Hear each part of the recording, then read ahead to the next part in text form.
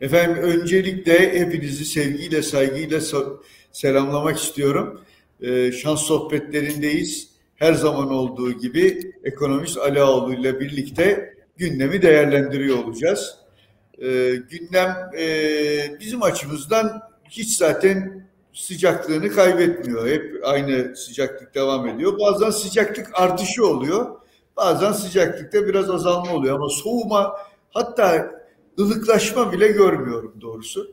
Sayın Ağoğlu bilmiyorum. Valla ona hissedilen sıcaklık diyelim.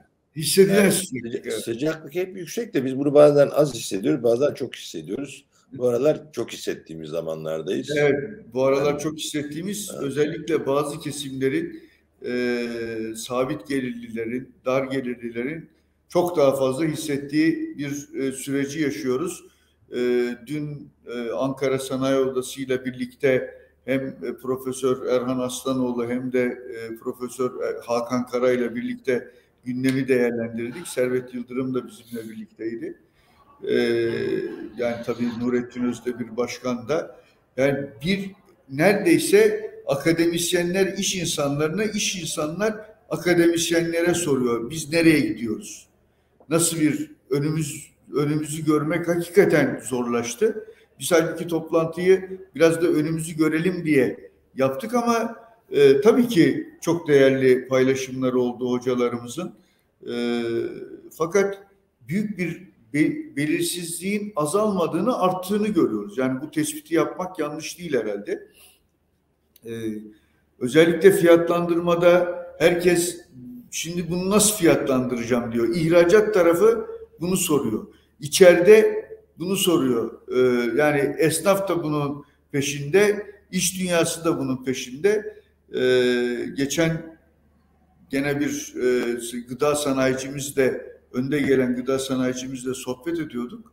Orada ifade etti. Ya artık e, yani dedi ki peynirin ben e, A grubu müşterilerin sadece e, tüketebileceği bir e, gıda maddesi haline gelmekte olduğunu görüyorum dedi.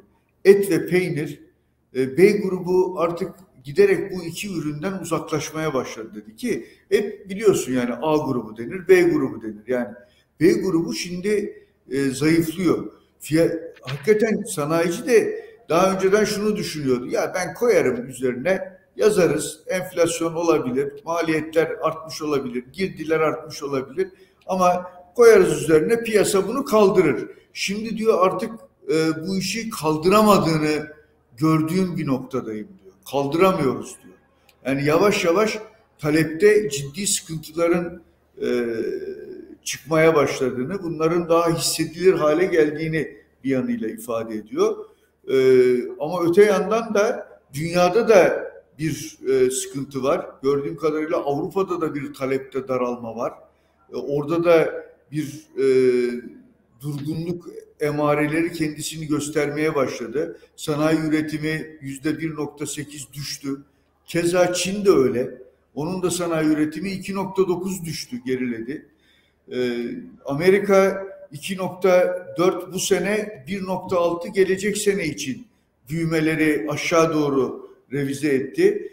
Ee, Powell iki hafta önce ya işte e, yumuşak da iniş olabilir filan diye konuşurken birdenbire e, şimdi ya bunun e, acılarını da hissedeceğiz e, demeye başladı. Resesyonu ifade et. Yani resesyon değilse de işte Wall Street Journal'da onu yazmış. Diyor ki 70 yıl boyunca e, Amerika faiz indirimlerine gittiği zaman resesyon olmadığı bir dönem olmadı. Amerika faizleri seri şekilde indirirse bu ülke bu ekonomi resesyona giriyor. Onu ortaya koymuşlar. Powell da bunu dillendirmeye başladı. Hani dışarıda stagflasyon e, ve resesyon tartışmaları bir durgunlaşma var. Yani Almanya yıl başında diyorduk ki yüzde beş büyüyecek 2022'de. Şimdi 2.7 bu sene 2.3 de gelecek sene 2 senede yüzde beş büyüyecek diye konuşur. Yani o analizler yapılmaya başladı. Ki bu eğer hani rubleyle e, ödeme meseleleri filan çözülürse yoksa Rusya rubleyle ödenmedi diye gazı kesmeye kalkarsa Avrupa için özellikle Almanya'yı bu 220 milyar euro maliyet çıkartacak çıkartacağı hesaplanıyor. Avrupa için eksi beş daralma yani konuşul, konuşulacak. Ee, gerçekten böyle hem içeride hem dışarıda sıkıntı var. Stagflasyon dışarıda Avrupa zaten hani buna girdi daha ne kadar kötüleşir gibi sorular artık oraya doğru dönmeye başladı. Türkiye'de de işte biraz önce söylediğim gıda e, sektörünün, sanayinin e, önemli temsilcisi biz gıdada stagflasyonu yaşıyoruz dedi. Yüzde yüz otuz beş bizim dedi e, ürünlerimizdeki zam oranı yüzde yüz otuz beş. E, öbür taraftan da e, talepte de ciddi daralma var. Azaltıyor insanlar alımlarını. Markalı ürünlerden daha zincir market ürünlerine, o private label denilen ürünlere doğru bir kayış var. Yani manzara bu. Biz bu arada e, hesaplar yapıyoruz, listeler hazırlıyoruz. Kim bu işlerde fahiş fiyatlara çıkıyor diye. Ama herhalde enflasyon sepetinin, e, TÜİK'in enflasyon sepetinin yüzde otuzunun da yönlen, yönlendirilen, yönetilen fiyatlarla oluştuğunu da unutuyoruz. Orada akaryakıt fiyatlarına zamların yüzde 222'yi bulduğunu unutuyoruz. Ee, ya da e, sigarada vesairede filan yani örnekleri arttırmak çok mümkün ama e, ya elektrik keza yine öyle. Fakat biz bir yandan da bunun suçlusu kim diye de arıyoruz. Bir karmaşa var fakat bunun sahaya en önemli yansıması benim gördüğüm son düzenlemelerin de ortaya çıkarttığı biraz uzattım ama kusura bakma. Çok Gaziantep'teydim, Ankara'daydım. Yarın kar, ya, e, hakikaten bu ara sanayiciden biz fiyat belirleyemiyoruz ve e, alınan kararlar mesela Merkez Bankası sadece alış kuru açıklıyor, satış kuru açıklamadığı için büyük oranda bu işi bize bıraktığı için e, banka o bankanın kuru şu, bu bankanın kuru bu, o bankanınkini de kabul etmiyorum. Ben şu kurdan bana e, bunu ödemenizi istiyorum dediği için lojistikçi ile sanayici arasında sanayicilerin birbiri arasında tedarikçisiyle, ithalatçısıyla, e, imalatçısı arasında ciddi kavgalar çıkmaya başladı. Yani kambiyo kavgaları diyebilirim ben buna. Yani baya bir tartışma ortamı var. Ama bunun da yine işte işte yüzde bir buçukluk ikilik maliyetler bunun da yine fiyat belirlemenin üzerinde ciddi sıkıntıları var. Türkiye fiyat belirleyemiyor. Yani böyle bir noktaya doğru e, geldik gibi görüyorum. Tabii e, senin değerlendirmelerini özellikle merak ediyorum. Ya birçok şeyi aynı anda sen söyledin. Ben şimdi aralarından e, kolay sorudan başlayacağım müsaade edersen. Yani fiyat belirleyemiyor konusunu zaten çok önceden konuştuk ve ben bunun böyle buraya doğru, doğru gitmekte olduğunu söylemiştik. Geldik. Yani geldik. Şimdi e, kur meselesinden gireyim önce. Çünkü beraberinde birkaç tane konu daha var kurun içinde. O da şu kur belirleme ile ilgili bir kere Türk lirasından ödeme yapılacak e, düzenlemesi geldiği günden bu yana kim kime hangi kurdan ödeme yapacak tartışması var. Evet. Şimdi malını dolarla satan birisi, dolar fiyatlayan birisi olabilen en yüksek kur olan Merkez Bankası efektif döviz satış kurunu kullanmak istiyor. Doğru. Buna karşılık malı dolarla alan birisi de Merkez Bankası'nın en düşük kuru olan Merkez Bankası döviz alış kurunu kullanmak istiyor. Şimdi hangi kur kullanılacak konusunda düzenleme yapılmadı. Yani yapılsa daha mı iyiydi? Bence Türk lirası ödeme yükü sorumluluğu getirilmesi ve de yarından itibaren hep aynı yerdeyim. Bir kez daha tekrar edeceğim. Yarından geçerli kurallar bizim başımıza gerçekten büyük belalar açıyor. Gelin bunu 6 ay, bir sene, iki sene sonra geçerli olacak diyen bir düzenleme yapalım. Herkes yavaş yavaş Sözleşmenin ona göre düzenlesin. Şu tarihte bu gelecek. Ha bir de tipik bir Türk davranışı vardır. Siz bir tarih verseniz bile o nasıl ertelenir dersiniz. Gene de yavaş yavaş büyük kurumlar ona kendilerini ayarlamaya başladıklarında küçükler onları takip etmeye başlarlar zaten. Ama yarından geçerli deyince altyapı hazır değil. Buna sözleşmeler hazır değil. Aynı şekilde şirketlerin yanı sıra bankaları ilgilendiren düzenlemeler getiriliyor. Onlar da yarından geçerli. Şimdi evet. Bunlar gerçekten geçen hafta konuştuğumuz hani pastayı büyütücü önlemler midir, pastayı tırtıklayan önlemler midir diye baktığımızda ben şu ana kadar alınmış bin tane önlemin bir tanesi yanlışlıkla pasta büyütüyordur, yanlışlıkla. Geri kalan hepsi pasta tırtıklayıcı önlemler gibi görüyorum. Çünkü gerçekten ülkeyi yurt dışına açacak, Türkiye'nin rekabet gücünü arttıracak önlemlerin sayısı son derece az. Buna karşılık dövizle ilgili her geçen gün yeni bir önlem geliyor. İşte yüzde kırka çıkmasını bir tarafa bırakalım. İşte bankalarla bankaların işlem saatleri saat 10 ile 16 arasında sıkıştırılıyor. Gece emir bırakılamıyor. Yurt dışındaki yabancı bankalarla Türk lirası işlemi yapılamıyor vesaire vesaire vesaire. Yani gereksiz bana göre hakikaten bir herhangi bir amaca hizmet etmeyen bir yeni düzenleme getiriliyor. Şimdi bunlar teknik olarak kısa vadede döviz ihtiyacını bir miktar sakinleştiren şeyler olsa bile o bir süre sonra herkes buna alıştıkla kanıksadıktan sonra çat diye kurlara yansıyor. Buyur 5 Mayıs'ta 14.75 olan kur bugün 14 15.95. Evet. Şimdi çok ciddi bir artış Mayıs, oldu. Evet 5, 5 Mayıs 18 Mayıs yani hakikaten 13 gün içinde artış 1 liradan fazla.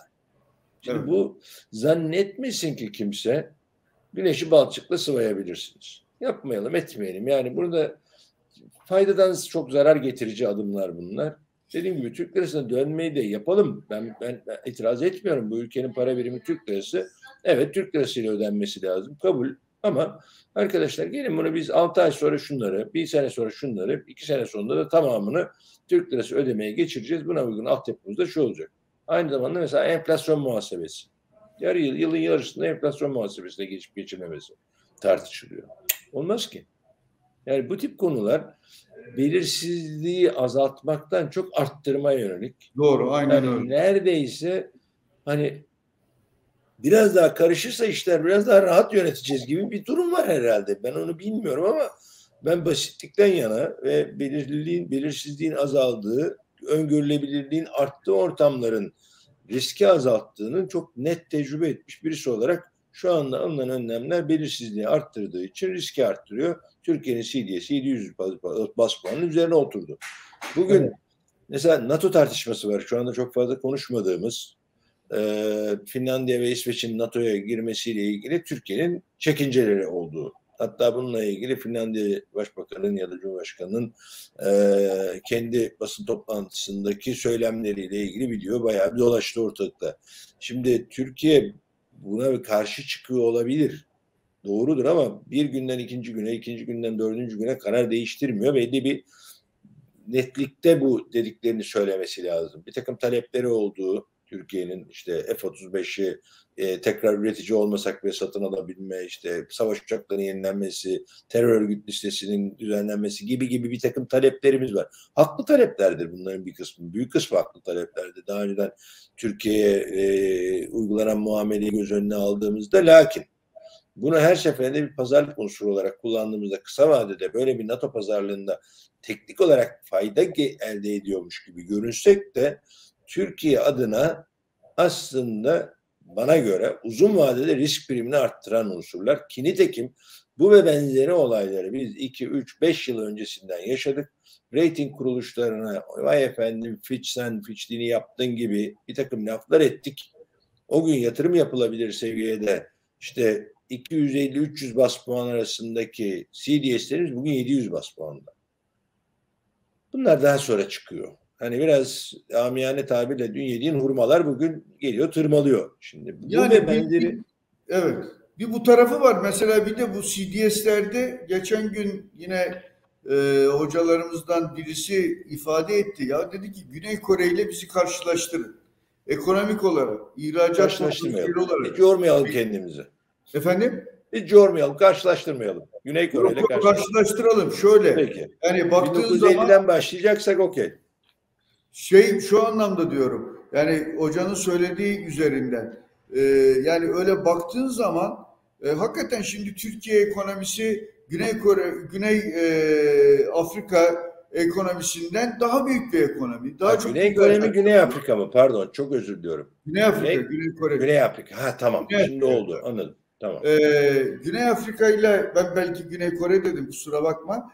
Ee, Güney ama dedi mesela CDS'lerine baktığın zaman yani birisi birisininki 300'ün altında 270'lerde filan dolaşıyor. Bizi Türkiye'ninki 700'lere çıktı. Ee, nedir diye baktığımızda dedi ya işte bütün bu e, alınan kararlar bu karmaşa ve Merkez Bankası'nın dedi yapılan şeylerde de e, anketlerde de bu ortaya çıkıyor dedi.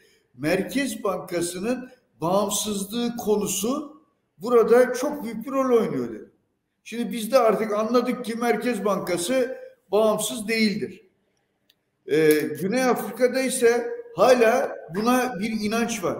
Rusya'ya örnek verdi. Rusya'da bile dedi ki Merkez Bankası Başkanı hanımefendinin e, durumu, tutumu, duruşu e, Rusya'nın CDS'lerinin Türkiye'nin altında savaşın içinde bir ülke olmasına rağmen Türkiye'nin altında olmasına neden oluyor dedi. Gerçekten bunlara çok dikkat edilmesi gereken bir ortam. Yani senin söylediklerini bir anlamda desteklemek adına söylüyorum. Ya Güney Afrika bizim bir dönem zaman dilimiyle aynı dilimde olmamız hasebiyle ekürümüzdü. Evet. Yani hep beraber anılırdık, beraber trade edilirdi, alıp satılırdı. Yani orada bir problem olursa Türkiye'yi satarlardı, burada bir problem olursa oraya satarlardı. Öyle bir bağ kalmadı. Çünkü Türkiye artık alınıp satılan, trade edilen veya işlem gören, para birimi işlem gören, borsasında yabancının ağırlığının neredeyse kalmadığı, tahvildeki ağırlığın neredeyse sıfırlandığı bir ülke haline geldi. Şimdi bunun bedeli zaten CDS olarak çıkıyor. Çünkü siz aldığınız önlemler özellikle döviz piyasasına yönelik aldığınız önlemler hayatta sizin için kısa vadede kolaylaştırıyormuş gibi görünse de orta uzun vadede bunlar artık 6 ayla 1 yıldan bahsediyoruz orta uzun vade. Ben ki normalde 3 yıldan sonrasını uzun vade evet. diye varsayan birisi olarak 1 yıl artık uzun vade kabul ediyorum. Orada etkilenmeye, etkiyi ortaya çıkartmaya başladı. Ki çıkıyor. Yani bugün 700 bas puan kafadan şöyle bakalım.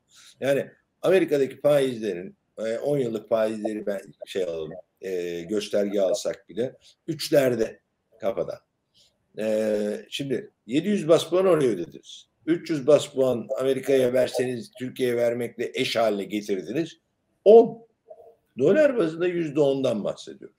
E bunun üzerine bir de bunun likiditesinin az olmasını, Türkiye'ye çok fazla yabancı ilgisinin olmadığını ve satmak istediğinizde mutlaka bir zararı göze almak zorunda kalacağınız için bir çıt daha üzerine çıkıyorsunuz. 10 artı bir faiz oranı dolar borçlanacaksınız. Paranız nerede dengeleneceği belli değil. E, kimse buraya gelip yatırım yapmıyor. Yatırım yapmadığı zaman fonlama problemimiz oluyor. Fonlama problemi eşittir pastanın küçülmesi. Küçülen pastadan neyi tırtıklayacağız kavgası yapıyorsun. Pasta büyütmek yerine. Evet, evet. Gelelim bir senin konuşmanın başındaki kısmına geri döneyim. Bunları zaten sıkça tekrarlıyoruz. Hemen hemen herkes aynı şeyi söylüyor ama hak ediyor muyuz sorusunun yanıtını herkes kendine kendi kendine sorsun. Yani ben hak etmiyoruz diyeceğim noktayı geçtik. Şu anda hak ediyoruz mu sorusunun yanıtını evet dünden bu yana almadığımız önlemler veya almış gibi gösterdiğimiz önlemler veya Merkez Bankası'nın bağımsızlığı veya para politikasını anlamsızlaştırdık sözü gururla söylenirken anlamsızlaştırdığınız para politikasının sonunda şöyle bir sorun çıktı ortaya. Mevduat sahipleri dolar endeksli mevduatları var veya döviz mevduatları var. Bir de üstüne üstlük şu anda piyasada garip bir beklenti var. Onu da anlamakta zorluk çekiyorum. Süper bono beklentisi var.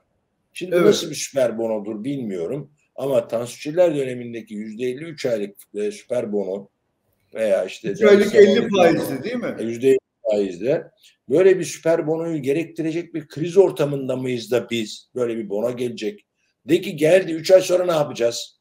Evet. Bugün kur korumalı mevduatlar Ağustos'ta şirketlerin kur korumalı mevduatları bitiyor. O zaman ne yapacağımızı bile bugünden bilmiyoruz. O gün ne olacağını Haziran, bilmiyoruz. Yani peyderpey onlar gelmeye başladı. Tabii Haziran, ki yani evet evet Haziran Ocak başında yapmış olanlar ama az, ağırlıklı olarak düzenlemelerin netleştiği tarihe baktığımızda Şubat ayının ortasıydı. Şubat ayının evet. başlarıydı. Şubat'tan 6 ay Ağustos ortasına getiriyor. O, Ağustos Ağustos ayı diyelim. Orada ne olacağını bilmiyoruz mesela. Bir, kur korumalı mevduatla kuru aşağıda tuttuk veya dengeledik ve 18'den 13'e indirdik de şu anda 16. Şimdi o gün ne yapacağız? Bir, şu anda kur korumalı mevduatın maliyetlerini biz hangi dönemde ne kadar olduğunu bilmiyorum ama normal indirdik dediğimiz faizin çok üzerinde bir hazine fonlaması var. E, TÜFEX'te geçen hafta da konuşmuştuk. TÜFEX dediğimiz yani tüfeğe endeksli e, bono çıkarılacak. E, şu anda eksi 11'lerde işlem görüyor bu bono. E, e TÜFEX yani endeksin kendisini verseniz bile halkın buna ilgi gösterip göstermeyeceği belli değil. Deyin ki gösterdi. Bu sefer de yüzde yetmişli bir borçlama faizi olacak hazinenin. Hı hı. Şimdi yani hakikaten biz bu e, şeyleri e, adımları neden attık sorusunun gerçekten kafamda deli sorular diyeceğim hani çok şey amiyane olacak ya da sohbet gibi olacak ama başka bir taraftan gelelim. Şimdi en son geleceğim yere geleceğim. Sen uzun konuştun ben de uzun konuşma hakkımı kullanıyorum. Estağfurullah.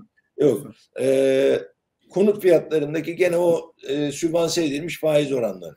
Çat diye konut fiyatları yukarı çıktı gene. O faizi kimse kimseye yedirmiyor. Bir. Evet. Gene herkese çok, bu son dönemlerde çok sıkça sorduğum bir konu. Özellikle konut fiyatları arttığı için. E, siz yaptırım uygulayacaksınız. Ya yapmayın etmeyin. Yani Türkiye'de tapuda gösterilen değerle gerçekte işlem dönenlere değer arasında dağlarla fark var. Dışarıdan birbirlerine el değiştirirler parayı olur biter. Yani nakit verirler, şey yaparlar, bir yolunu bulurlar. Kontrol edemezsiniz. Yani bunu yapamazsınız. Bunu yapacağım deseniz de yapamazsınız. Faizi düşürdünüz, konu fiyatları arttı.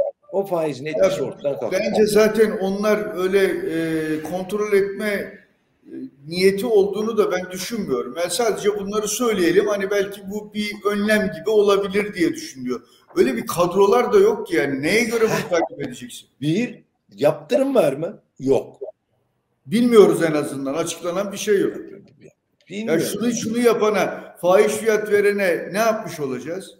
Hakimle nasıl takip edeceksiniz? Evet. Öyle bir problem de var ama hep sorduğum soruyu tekrar sorayım. E, faiz indirimi kime yarar? Ben yanıtını vereyim hemen. Faiz indirimi parası olana yarar.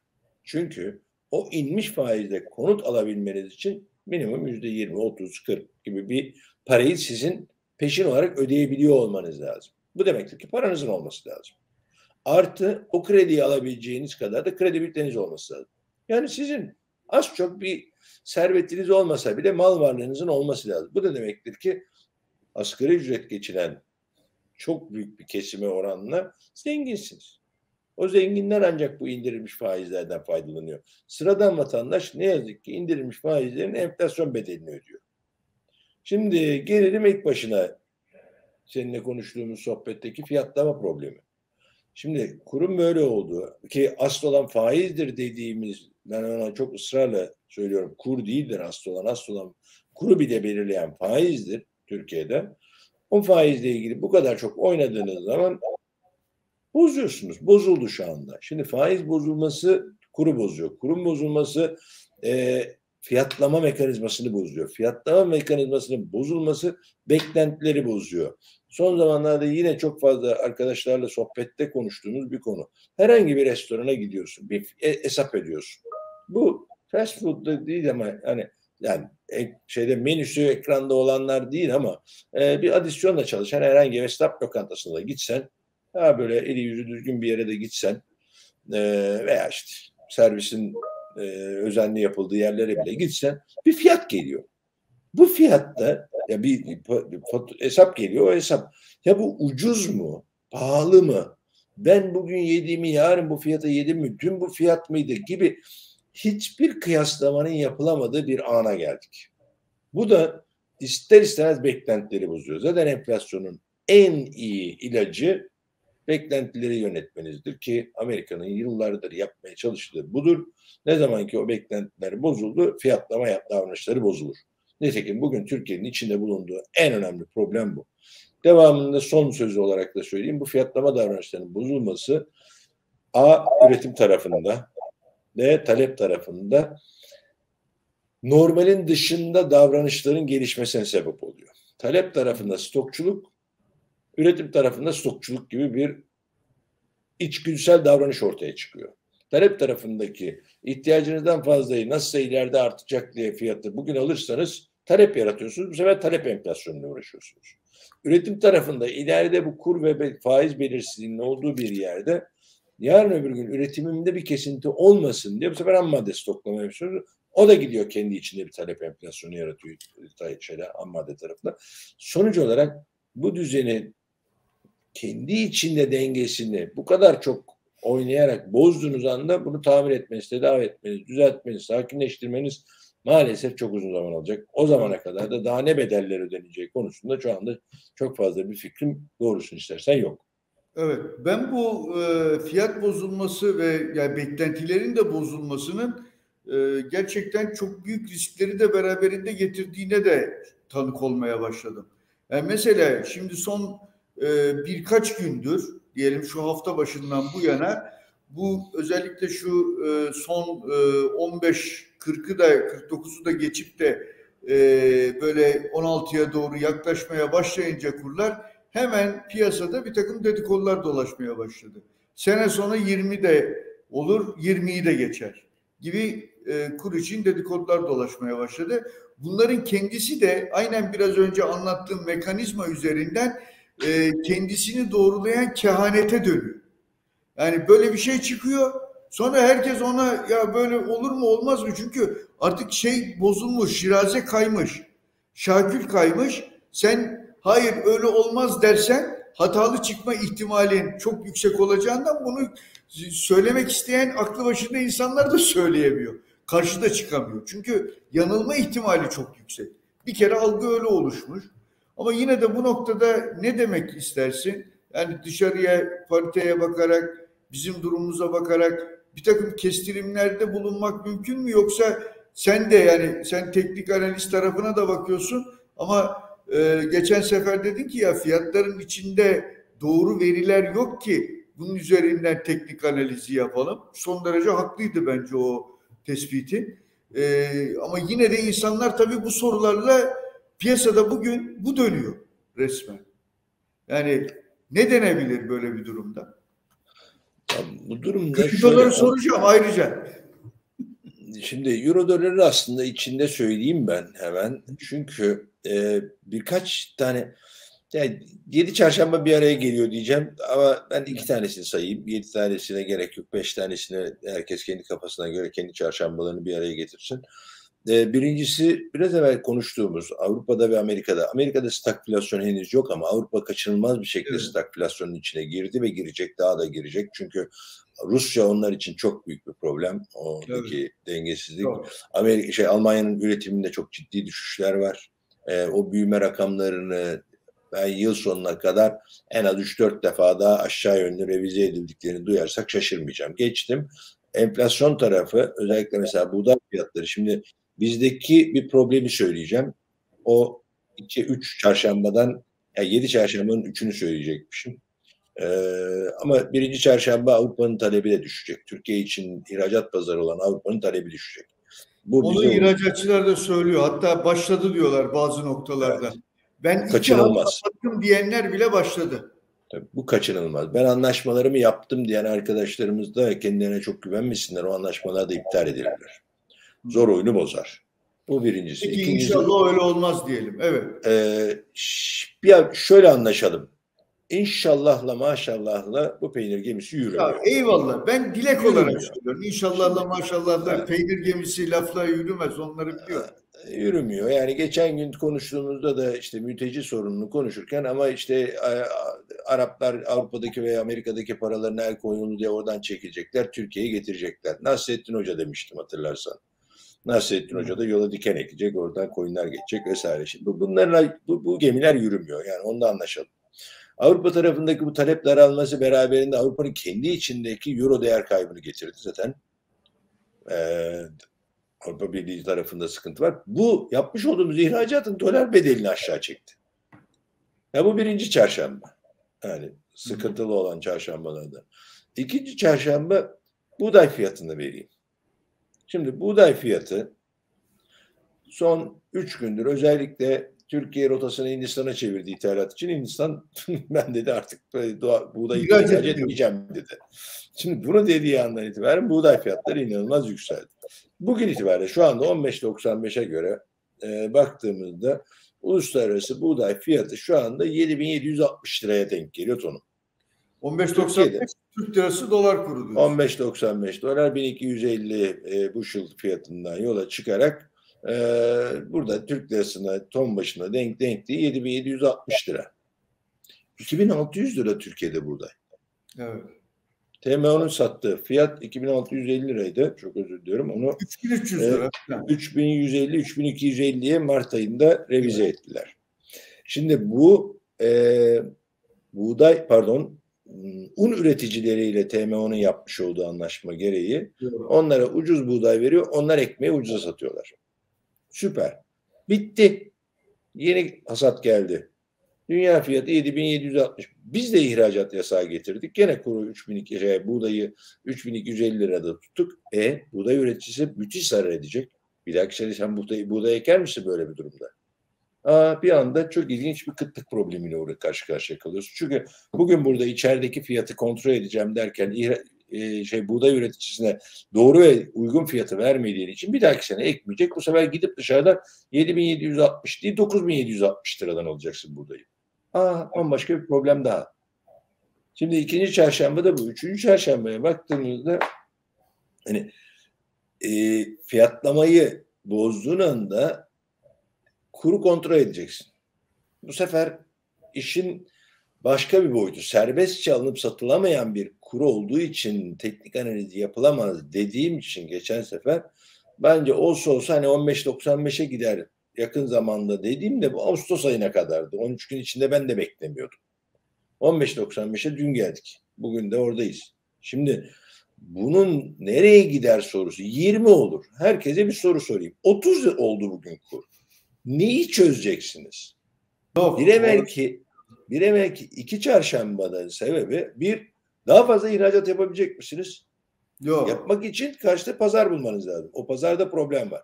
İki, daha fazla ihracat yapmanız için yüksek fiyattan ham madde ithal etmeniz lazım. Onu bulabilecek misiniz? Ve o fiyatı denk getirip siz o ihracatı yapabilecek misiniz? Çok zor. 30 olduğunda sizi kurla teşvik eden bir sistem bile ne yazık ki o bahsettiğiniz ihracat avantajını sağlayamayacak. Buna karşılık müthiş bir enflasyon ithalatı demek bizim için. Ha biraz yine son dönemde son bir iki gündür rekabetçi kur söylemi yeniden ortaya çıktı. Onun için mi diyorsun bunu? Evet. Şimdi bunu söylemeye çalışıyorum ki bir ara Çin modeli dedik böyle bir, bir hafta on gün, iki hafta, üç hafta böyle bir dolandı ortalıkta. Sonra rekabetçi kur diyoruz. Sonra şunu diyoruz, bunu diyoruz. Yani gelin anlaşalım. Yani bunlarla bu iş 250 bas puanlık CDS'i 700 bas puana getirdi.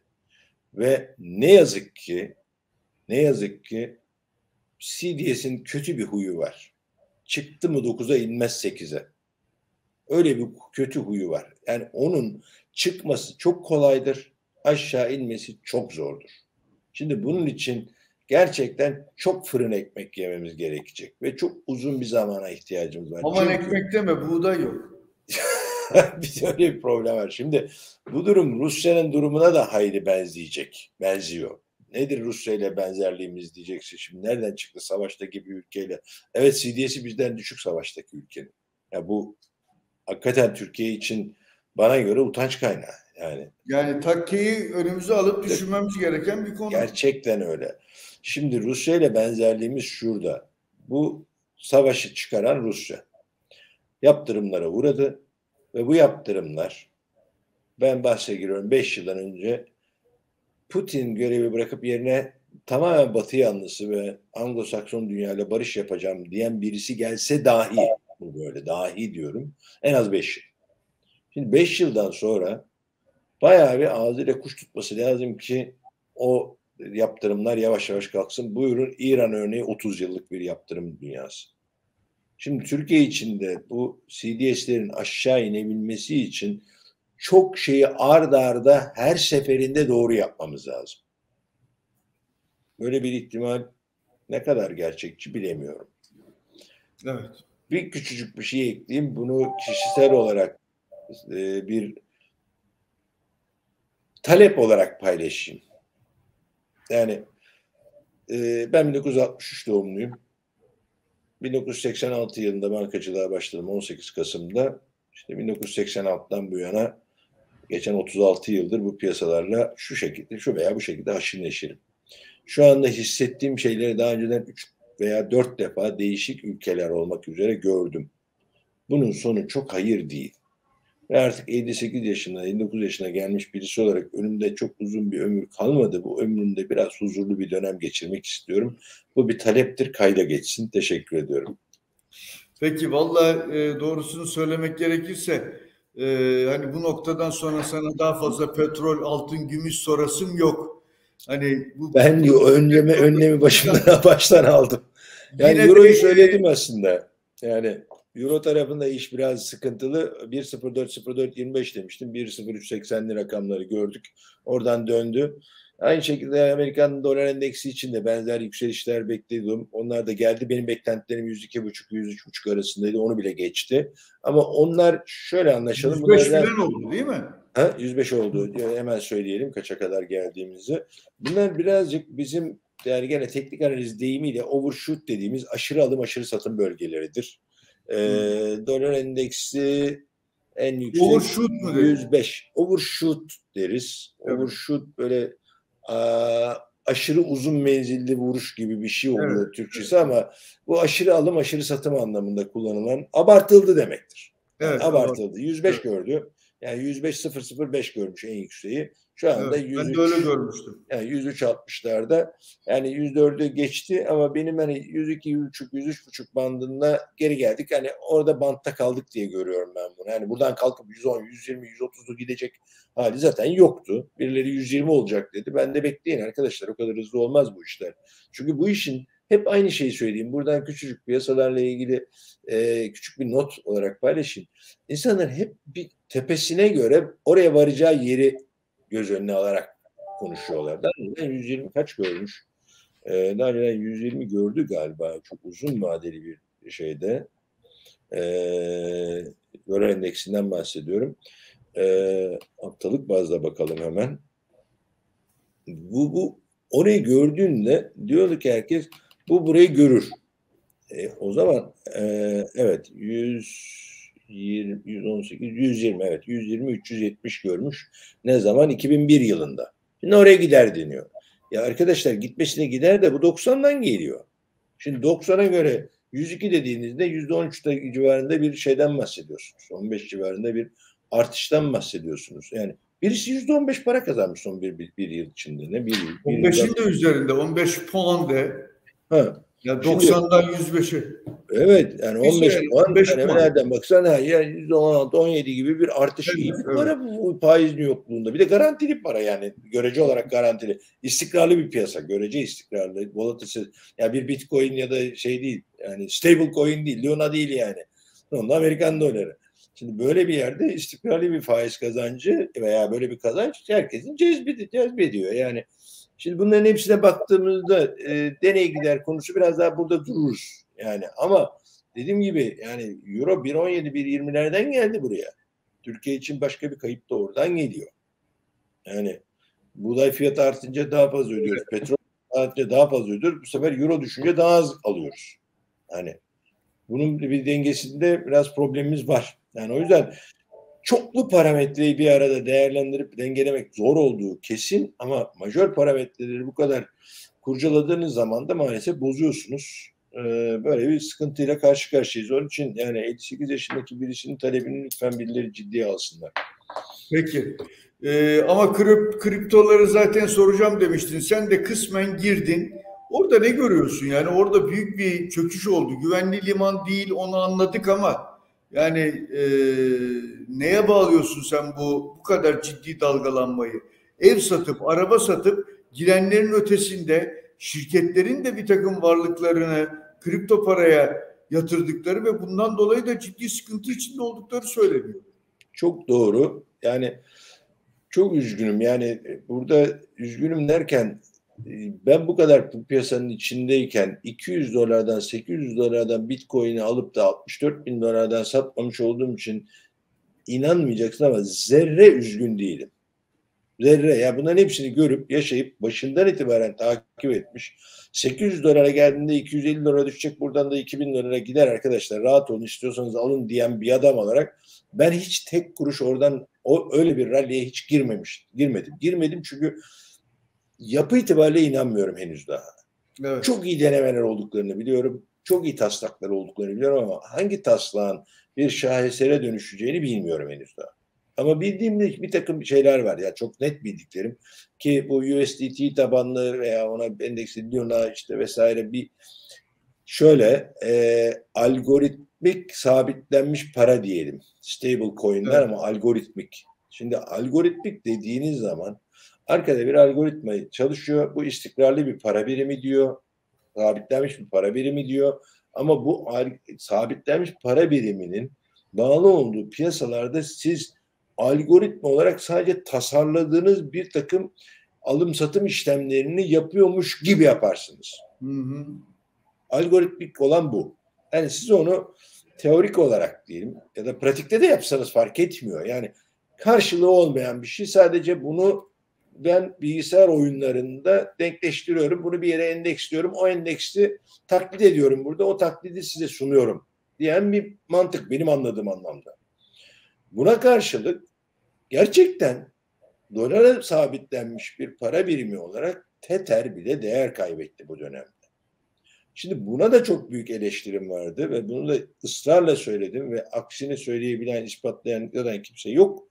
Tether diyor ki benim bir Tether'imin karşısında bir dolar var. Diyelim ki inandık. Ben inanmıyorum. Çünkü Tether'e diyorsunuz ki Tether yönetenlere. Evet kardeşim inanayım inanacağım bak. Söz vallahi inanacağım. Ama gel seni birisi denetlesin. Senin elinde evet. bu kadar dolar var mı? Veya bu kadar dolara evet, madem iddia ediyorsun. Ha, tahmin edilebilir başka bir kıymetin var mı? Varsa bana bunu ispatla. Ben vallahi inanacağım sana. Söz. Abi yok. Bu denetlemeye girmem diyor. E şimdi ben bunun ne kadar sabitlenmiş veya istikrarlı bir para birimi olduğuna inanabileceğim ki? İnanmıyorum. İnanmadığım bir şeyde zaten ne paramı yatırırım ne zamanımı harcarım. Şimdi burada o evini satan, kendi parasını veya şirketin arabasını, evini veya şirketin parasını buraya koymuş olan yöneticilere sesleneyim. Greed kills. Bu İngilizcesi. Aç gözlük öldürür. Evet. Yani bu kaçınılmaz. Şimdi yedi günahtan biri. Evet. Yedi günahtan ve bence insanoğlunun tedavi edilemeyen en eski hastalığı. Şimdi buradan yola çıkarak diyorum ki İşiniz sizin Bitcoin üretmek, mining midir? Siz onun üzerine bir şirket kurdunuz. Bütün bilginiz, bütün deneyiminiz bunun üzerine ise lütfen o işi yapın. Ben ona bir itiraz etmem. Ama işiniz tekstilse, işiniz peynir üretmekse, işiniz çiftçilikse bütün neden şirketinizin parasını Bitcoin ya da herhangi bir stablecoin'e veya bir dedikoduya koyarsınız? Veya niye bir NFT'ye koyarsınız? Niye? Jack Dorsey'in şey ilk tweetini alan arkadaş ya çok kazanacağım yani. Beşe katlayacağım, ona katlayacağım. Çok güzel. Bütün herkes bütün herkes de onu daha fazla pahalıya satacak diye sizden almayı bekleyecek. Öyle evet. mi? Şimdi bu, bu arada bizim evdeki şey e, emlak piyasasında böyle bir problem var. Birkaç arkadaşa söyledim. Buradan izleyicilere de söyleyeyim. Ee, Big Short filmi var. Büyük Açık diye bir film var. Bana göre çok güzel bir filmdir ama finans piyasalarının en iyi filmidir bana göre bu 2008'deki e, çöküşü, Lehman Brothers çöküşünü anlatan, o döneme kadar gelen süreci anlatan birisi. Big Short öyle mi? Big Short. Yani büyük açık Türkçesi e, açığa satmaktan bahsediyor evet. birisi. Dört yıl e, bayağı uzun süre acı çekmiş olan birisinin haklı çıkması hikayesidir film ama 2008'in öyküsüdür. Çok güzel bir filmdir. Ve orada buna inanan kişi ya da bunu ilk başladan bir doktor, tıp doktoru hatta rolü şu anda isimleri hatırlamıyorum. Ee, çökeceğine inanıyor borsaların. Amerikan borsaların çökeceğine inanıyor ve ona uygun pozisyonlar alıyor. Dört yıl boyunca sürekli prim ödüyor. En sonunda haklı çıkıyor ama arada başka bir fon yöneticisi de bunu e, çok balon şiştiğini, bu emlak tarafında sıkıntı olduğunu şey yapıyor, e, bir şekilde anlamaya, duymaya, izlemeye başlıyor. Ve bir yerde onun içinde film kopuyor. Koptuğu yerde bir gece kulübünde çalışan kadının beş tane evi var. Tamam mortgage'da alınmış. Teorisi şu. Bir sonrakine daha pahalı satacağım varsayımı var.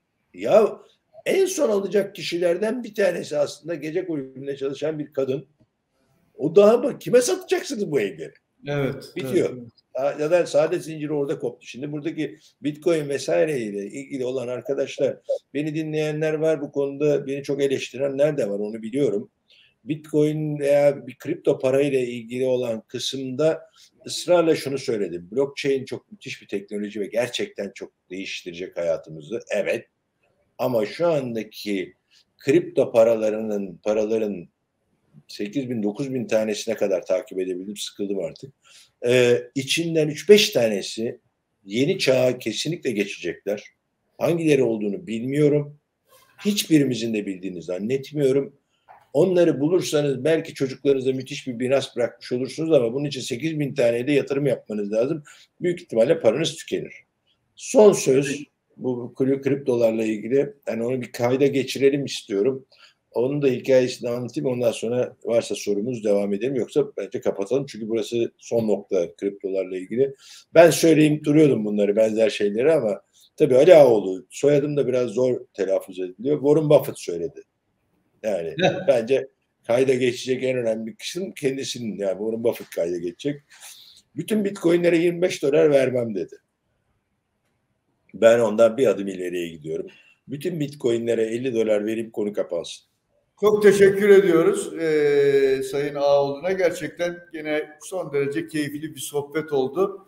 E, haftaya tekrar şans sohbetlerinde buluşmak üzere yeni gündemlerle birlikte. Hepiniz sağlıkta kalın. E, hepinize iyi günler, iyi akşamlar diliyoruz efendim. Görüşmek üzere.